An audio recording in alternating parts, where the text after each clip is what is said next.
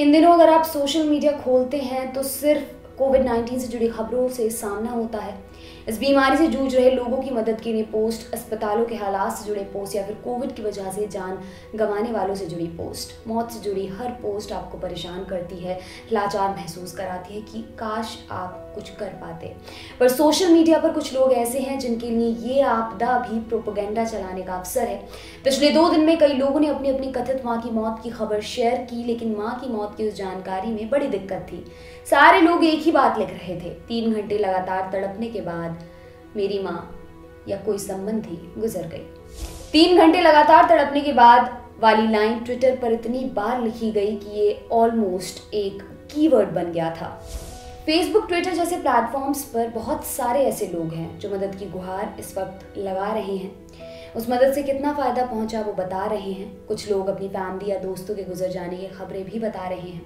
मगर फिर आते हैं वो लोग जो तीन घंटे तड़पने के बाद अपनी माँ की मौत की खबर बताते हुए सरकार को कोस रहे हैं।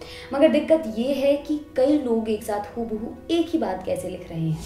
तीन घंटे तक लगातार तड़पने के बाद अगर आप ये वाक्य ट्विटर पर डालकर देखेंगे तो इससे जुड़े कई पोस्ट आपके सामने आ जाएँगे।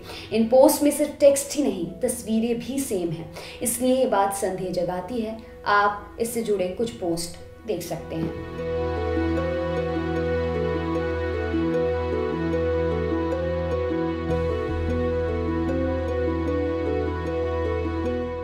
जितने लोग अपनी माँ की तड़प कर मरने की खबरें लिख रहे हैं, उनमें से एक आध केस जेनविन हो सकते हैं, मगर बिना एक शब्द भी इधर उधर किए ढेर सारे लोग वही बात लिख रहे हैं।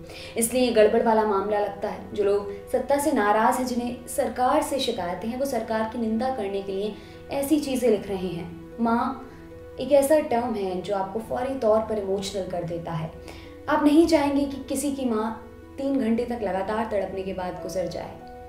मगर यहाँ माँ शब्द का इस्तेमाल पब्लिक को सरकार के खिलाफ भड़काने के लिए हो रहा है और वो भी इस तरह। ऐसा करने के पीछे दूसरी वजह सहानुभूति हासिल करना हो सकता है।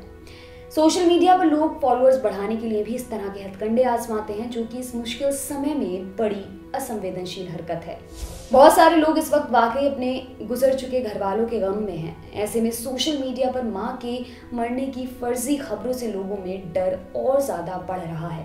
पैनिक का माहौल वैसे ही है, इससे और ज़्यादा पैनिक उत्पन्न हो रहा है। ये नैतिक रूप से भी गलत है, मगर ऐसे पोस्ट करने वालों को सोशल मीडिया पर कान भर सुनाया भी जा रहा है। कुछ लोग वाकई इन फेक पोस्ट से परेशान हैं तो कुछ लोग सत्ताधारी पार्टी के बचाव में उन्हें टाट लगा रहे हैं। वैसे कुछ पोस्ट आप स्क्रीन पर इस वक्त देख सकते हैं। अब इंडिया में एक्टिव कोविड केसेस की कुल संख्या एक करोड़ उनसठ लाख तीस हज़ार नौ सौ पैंसठ पहुँच गई है। आपके लिए ये तमाम जानकारी जुटाई है हमारे साथी श्वेतांक ने। मेरा नाम है दिव्यांशी। देखते रहिए टी लल्लन टॉप। शुक्रिया।